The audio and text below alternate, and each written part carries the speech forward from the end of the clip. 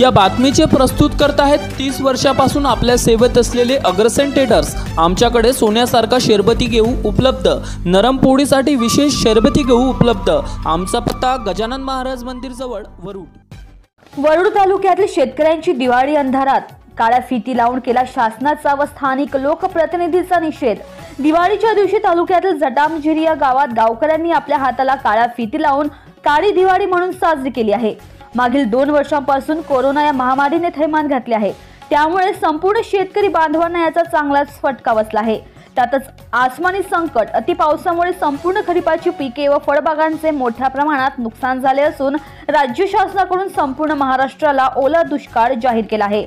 परंतु विदर्भातील नागपूर व गडचिरोली जिल्हा वगळता एकही जिल्हा ओल्या दुष्काळात समाविष्ट केला नाही. त्यात अमरावती जिल्ह्यातील मोर्शी वरुड भागात सुद्धा पावसाच्या पावसामुळे पिकांचं व फार मोठ्या प्रमाणात नुकसान झाले आहेत. मोठ्या प्रमाणात नुकसान होऊन वरुड तालुक्यात चार लाख रुपयांची तुटपुंची मदत तर मोर्शी तालुक्यात एकही रुपयांची मदत दिलेली नाही. ही खूप संत करणारी बाब असून या मो वरुड मोर्शी भागाचे प्रतिनिधी स्वयंघोषित शेतकरी पुत्र आमदार देवेंद्र भुयार हे करत असून ते वरुड मोर्शी तालुक्याचा ओल्या दुष्काळात समाविष्ट करू शकले नाही. म्हणून शेतकरी वर्गांनी झटामझिरी येथे हाताला काळा फिती लावून शासनाचा व लोकप्रतिनिधीचा निषेध केला आहे. यावेळी महिंद्री अभयारण्य प्रकल्पाला तीव्र विरोध करण्यात आला. यावेळी झटामझिरी येथील सरपंच हिराकांत उईके गोपाल नांदुरकर व शेतकरी बांधव उपस्थित होते. Avinash Bansod Amravati today news Warud.